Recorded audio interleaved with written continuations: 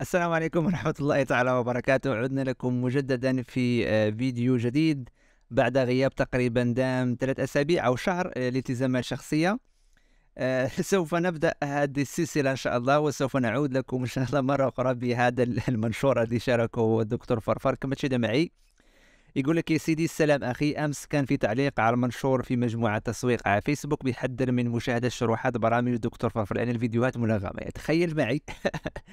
ناس تقول لك أن الشروحات التي آه، أنا أشاركها على يوتيوب هي شروحات ملغمة تخيل معي أنا أو الدكتور فرفر أو شخص آخر دكتور آه، قام بتلغيم يوتيوب. تخيل معي أن عندك القدرة لديك الكفاءة لديك المهارة أنك تلغم تلغم يوتيوب. يعني الشخص يشاهد يوتيوب يجي له فيروس. يعني تخيل لديك القدرة أنك تقوم باختراق يوتيوب.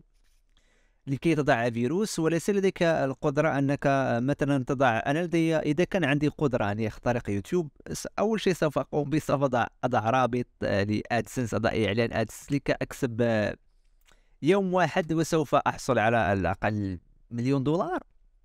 لأنه شيء خير. تخيل معي يوتيوب الملايير من المشاهدات في اليوم.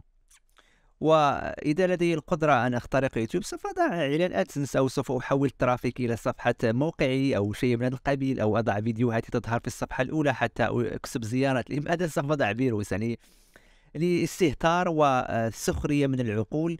وأعتقد على أنه هكذا آه، منشورات أو هكذا آه، تصريحات يعني الغايه منها هو فقط السخرية من عقول الناس لأنه آه، بناء على تجربة متواضعة هذا غباء أنا أعتقد هذا غباء لأن الشخص الذي قام بهذا يسخر من الناس. آه إن شاء الله سوف نستمر في شرح برامج دكتور فرفر وسوف نشارك معكم مجموعة من الشروحات وإن شاء الله في الفيديو المقبل. سيكون له علاقة بإنشاء محتوى باستخدام الذكاء الاصطناعي يعني ال AI content creation يعني سوف تقوم بإنشاء محتوى باستخدام الذكاء الاصطناعي يعني بالأخص بالأخص مقالات. وسوف نذهب إلى ما يسمى بتوليد الصور بحكم أن عندي تجربة في هذا المجال. قمت تقريبا تقريبا سنة ونصف تقريبا وأنا أستخدم ما يسمى بال Midjourney. منصة جميلة آه، برنامج أو خدمة جميلة تساعدك على توليد الصور باستخدام الذكاء الاصطناعي. سوف نشارك معكم إن شاء الله.